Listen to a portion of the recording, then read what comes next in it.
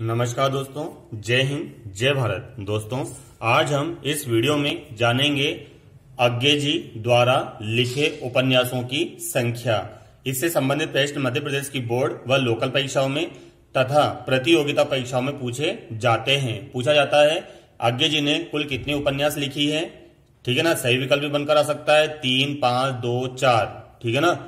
और नाम भी पूछे जा सकते हैं। तो हम देखते हैं। आज्ञे जी ने कुल तीन उपन्यासों की रचना की है। ठीक है ना? आज्ञे जी ने कुल तीन उपन्यासों की रचना की है।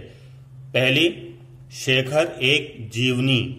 पहली कौन सी है इनकी उपन्यास? शेखर एक जीवनी, जो दो भागों में प्रकाशित हुई थी दोस्तों। पहला भाग आया था 1941 में और दूसरा भाग आया था 1944 में। दूसरी है, अपने अपने अजनबी। दूसरी उपन्यास का नाम क्या है इनकी? अपने अपने अजनबी।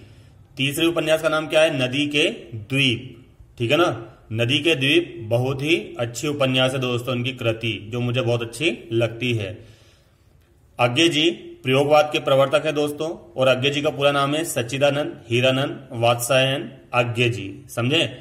आप इन तीनों उपन्यासों की एक ट्रिक भी जान सकते हैं। शेखर अपने अपने द्वीप।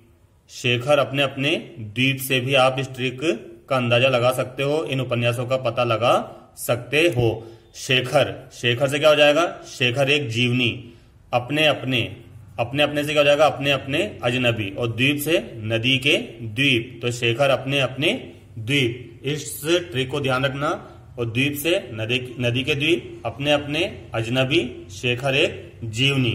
ठीक है ना? धन्यवाद दोस्तों।